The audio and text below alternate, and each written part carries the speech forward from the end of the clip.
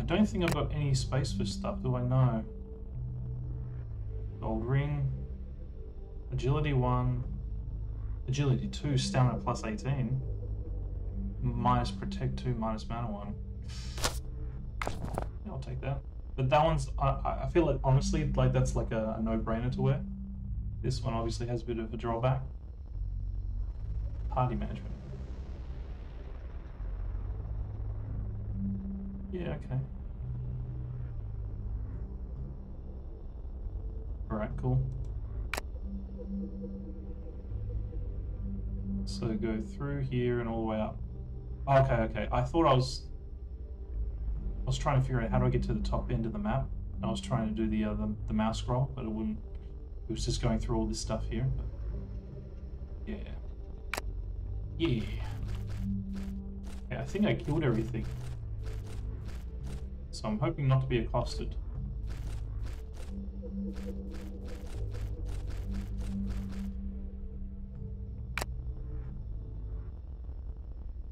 Okay, so up, right.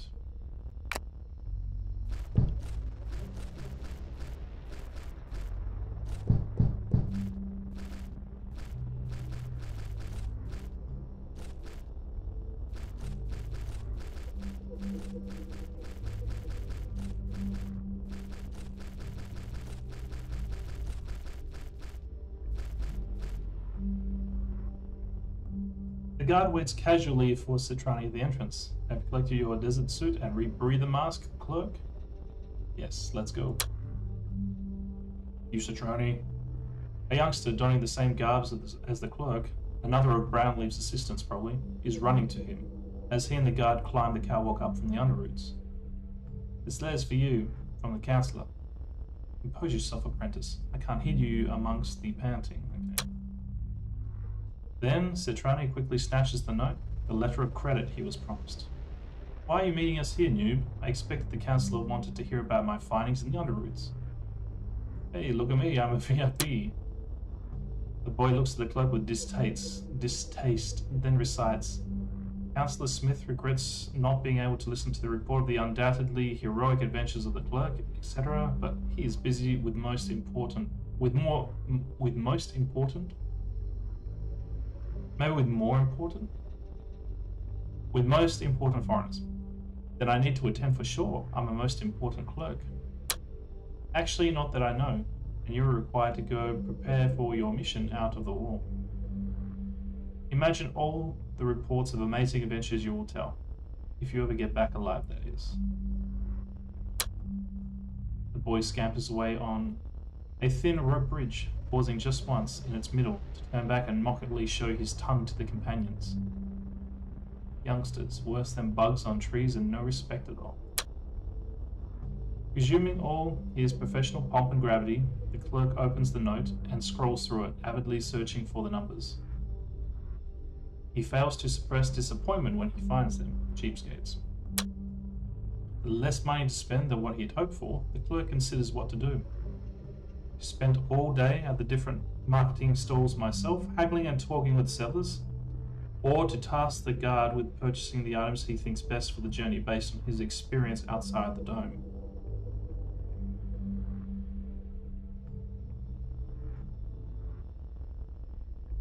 Let me think more. Give me long dialogues. I'm not in a hurry. I want to do the, the long dialogues, but I want to see if there's like a save point. Give me long dialogues. I'm not in a hurry. Achievement unlocked, big spender. Citrani finds himself again at the crossroads of the marketplace, considering where to go next. Okay, this game's starting to open up a little bit. Now, if I press F5, will that quick save? It absolutely will not. Alright, so considering what we need to do, I figure that we need to sell off some of the stuff that we've gotten. So I think the first stop will be the trading goods store.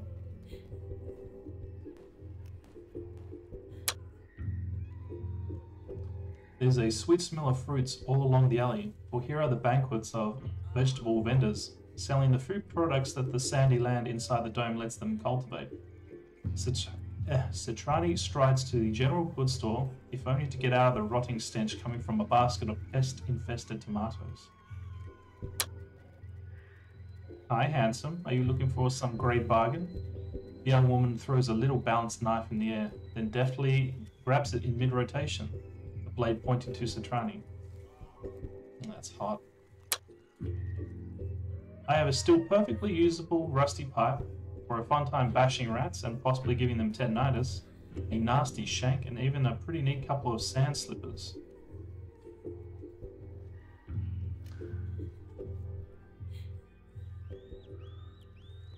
Oh, I'd say we want the slippers, yeah?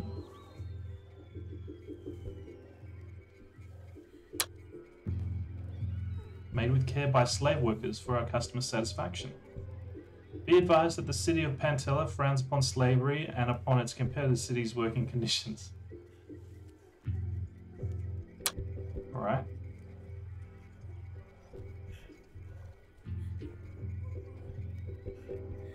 Okay, now remember, like, we've been given limited funds. I have knives. Got a shield. I just um got some slippers that I think is going to be better.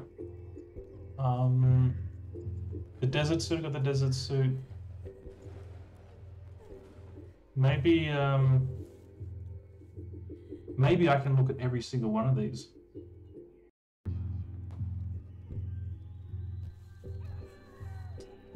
How about the Glassmaster's Alley? I feel that like that's um magic. But this could be magic as well. Let's let's look at this. I think this is like, you know, accessories. Don't touch anything, alright? Damn, I get that city I get that the city spells must be tended, but don't you dare stomp in here with your requisition list of activators. You take something, you pay for it. Hey, I'm not here to commandeer anything for the city. A stunned look on his face, but the apothecary surges on. Oh, really? Are you telling me that you'll actually pay me? No, I'll commandeer them for myself. It's written here on this council letter. Citrani shoves the note under the apothecary's eyes, all life draining away from them and leaving mourning in its wake. It looked too good to be true. However, this here says I am to give you value corresponding only to the remaining credit. Just so we are clear. So what? What can I afford still? Well, I have something to eat, basically. Some it's good for static electricity, and some for water manipulation. There may be side uses too. I have one fruit of a burger. Da, da, da, ha.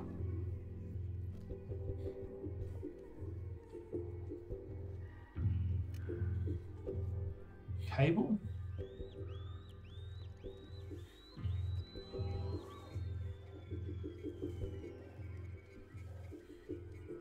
Probably gonna give me some like some line about like you don't have room in your inventory.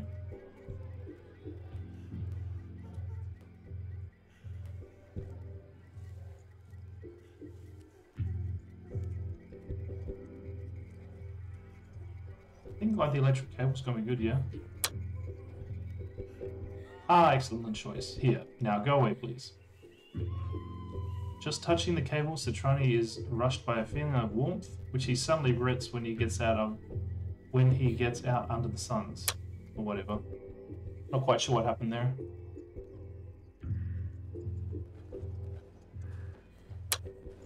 Citrani is looking over his shoulder to the guard, treading with difficulty on the net of branches that take to the that take him to the woodworker's perch places just above the rest of the city, even higher than the councilmen's houses, amidst the younger and greener branches of Kinami. The clerk grins at the awkwardness of his companion, but that's only a short distraction. The scorched plains that Citrani now can clearly see extending in all directions from the dome cloud his amusement. Soon he'll have to travel there. Indeed. What's with the face boy? Knotty hands work on a piece of wood, coaxing it to bend, more than forcing it with tools. I came to say goodbye, Tom. I have to go out to the desert. The man puts down the wood. That's reason enough for a long face, okay. So I imagine you are looking for gear, or are you just here to waste the day wa uh, watching down waste the day watching down? Are you just here to waste the day watching down at the city from my perch? The latter, I'm afraid. I've spent all of the council credit already. Okay, shit, well. I'm fine with it. I needed boots. Tom laughs. Well then, I suppose I wouldn't have been able to provide what you need to survive there anyway. Feel free to rest for a while on the branch there. Best vista of the whole city. That said, the woodworker gets back to his work, and Citrani does indeed do as he was suggested. Only now the guard arrives, panting on the perch, just in time for them to get back to the marketplace again. Right, so I think I've like exhausted all the options to buy shit. But I am still going to go everywhere, so... Yep. In This part of the Katami tree, safely away from the masses of wood, from the mass of wood, are the furnaces that provide for the glass used to maintain the dome, which is in fact continuously degraded by the great winds. Interesting. Out of the way, you pissant. Can't you see I'm working? The glass master gives less than a glance and a snort in Citrani's general direction. Ah, uh, no? Uh, okay, so... Sure. Flattery.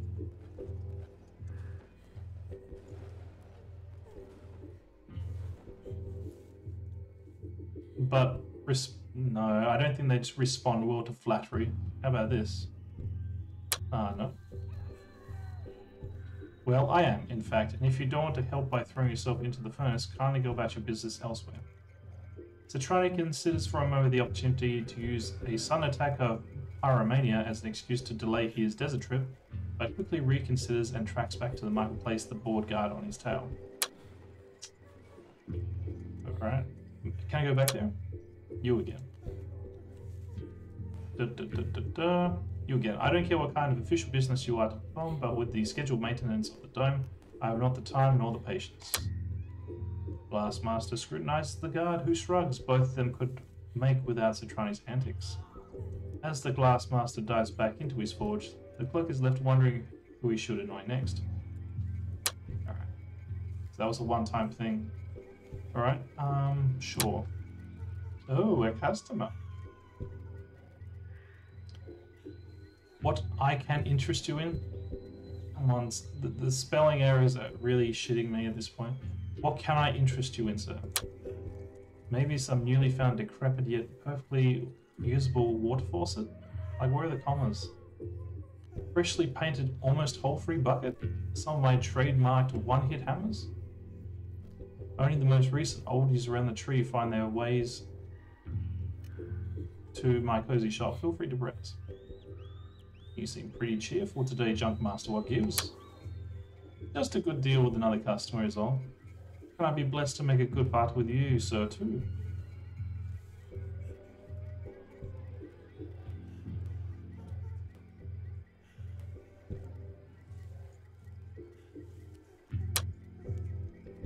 Oh, you wound me, sir. I've only certifiable, freshly recovered, almost new objects that the desert is generous enough to unveil and to let me have. I'm a conscientious dealer. Anyway, I have a line of credit and my arm next door. Recovering quickly from the lost chance of barter, the merchant continues. Council credit is good too. Always better to be on the Brownleaves good side, I suppose. What can I interest you in? Well, what do you have? First, a simple formality, the merchant says, inquiring with regard for the clerk's means to pay. I have nothing. Ah, I'm sorry, I was under the impression that you were a serious buyer, but your credit amount... Your credits your credits amount? I mean, sure. But your credit amount, your credits amount informs me that's not the case. I suggest you come back when you will have the means to afford my treasures. If mummified socks can be considered treasure. With that, Thomas shoves the clerk and the guard out the door. The two men decide to just get back to the market. Well then. Paul's common room. This common house is not the closest to Marjanov's Gate, which is the larger access to the city from the desert, but it is the larger one in the lower city. Nested at some distance from Kinami, it is usually the most crowded one too, due to the thick brown liquid sapped from the smaller root of the two. Kumi, as it's called, which is the base for an appreciated quality of brew. Today, though, the room looks almost empty. A man with a thin, sickly scar gives a nervous nod to Citrani. Hello, Mikhail. How's business, cousin? It's a riot, don't you see? Yeah, all fun and games. Where is everyone? Hmm. No, seriously. Looking around idly in the large room, fixing on nobody in particular, Mikhail sighs slowly. I suppose you, of anybody, should know tis not the best of times to apply for a position in the council. Hmm? What do you mean? Because you have to take out your head out of the clouds. Because you have to take out your head out of the clouds. Say. Because you have to take your head out of the clouds. Two poor harvests. The loss of the caravans of the raiders. We're this close to kicking the bucket. For the people, someone has to take the blame for that. It distracts them from the starving. Yeah. This this game seriously like needs because I mean the text that's what draws you in, right? But if it is littered with multiple grammatical and spelling errors, it just takes you right out. It really does. And they really need to work on that. But they won't. They won't.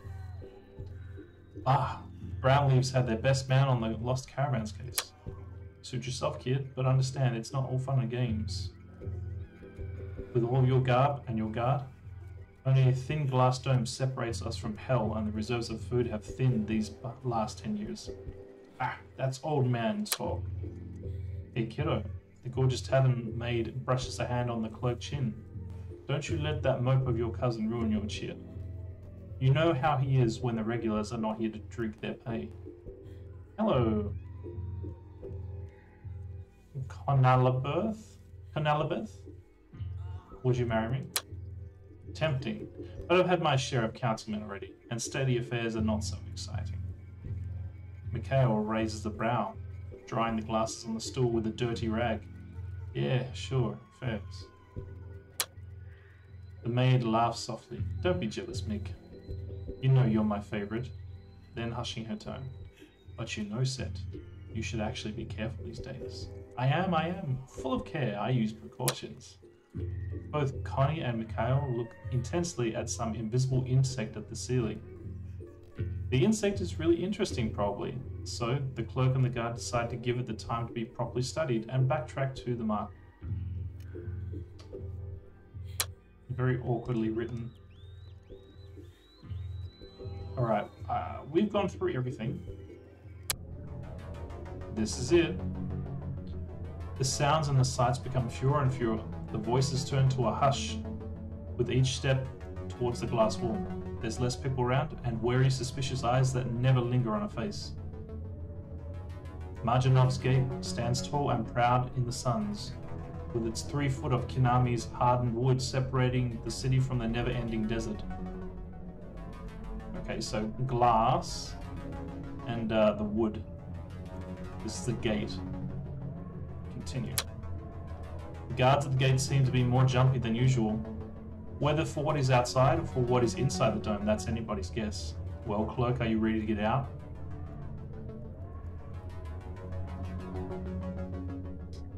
Doesn't matter.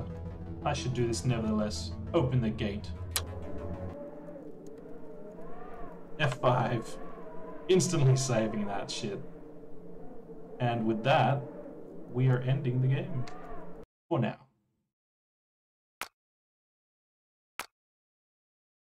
Sure.